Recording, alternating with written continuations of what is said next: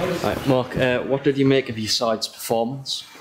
Yeah, it was a good performance. Um, we- we're gradually getting better and better each game. Uh, fitness is uh, looking good. Um, I wanted the, ge- the lads today to start the game better than we have done in the, in the last few games. We've, we've grew into games and we've finished games really strong. I want us to start the game quite sharp and uh, I think um, after about half an hour we were 3 0 up, so it was, uh, it, was, it was a good performance really. It must be disappointing to concede so late on after all your hard defensive work today. Yeah, yeah, we've we've been wanting to keep clean sheets. That, that last season, that was that was maybe our downfall. We were maybe 10, 15 goals worse off than Stock teams like Stockton. Um, and uh, the manager's just been in there to, uh, after the game. Then he was uh, a bit disappointed with that because it's the last kick of the game. On the other hand, uh, you played some good football and you scored eight goals. It shows there's a lot of confidence within the group. Yeah, yeah, full of confidence. Um, obviously, the games are starting to get harder.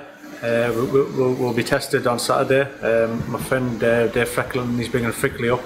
That'll be a, a tough test. And then uh, obviously we've got Morpeth as well. But hey, the, the strikers are starting to score goals as well, so it all bodes well. Uh, David Palmer came off and he looked like he was limping. Is there any update on him? Yeah, he'll, he'll be he'll be okay. We'll assess him on Thursday. We train on Thursday. We'll, we'll assess him then, and um, hopefully everyone will be okay. We've, we've got Alex coming back as well, so he, he should be uh, maybe a week away. And uh, obviously Sweetie came on today after having been out a week with his hamstring. You made a lot of subs during the game and they all performed pretty well. Uh, it shows that you've got a lot of quality in the squad.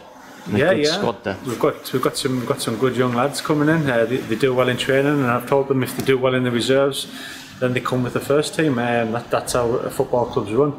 And um, they, they the first the first team have got to set examples to them and, and push them, and they've been doing really well. So they, they get rewarded with, with getting minutes on the pitch. And the team played with high intensity throughout the match. It shows the fitness that the squad has. Yeah, yeah. As I said briefly before, we- we've been finishing games really strong. The last half an hour, we've like sort of run away with games, um, and today was was we got stronger. I think the, the lads came on, and the fresh legs as well. I know I know it's TB and Willington's uh, first first pre-season game, but um, we've got to look after ourselves, and we're looking strong. The FA Cup and FA Vase draw was uh, drew earlier. What did you make of your side's draw? Brilliant draw. I, I, I've spoke. A lot of people have said uh, oh, a bit of a bad draw, but me, me and the manager, it's a great draw for us. Why don't we go to Stockton and beat them? And just before today's game, it was announced that fans will be coming back in the uh, grounds. Do you think that'll add pressure on your side to perform in front of supporters? No, it's, uh, it's what we it's what we all want. I think every club wants all the supporters back. Um, it's what it's all about. The people coming in and a great atmosphere, and uh, hopefully our, our fans be great. They'll support us from thick and thin. All right, congratulations. Cheers, mate. Thank you. All right.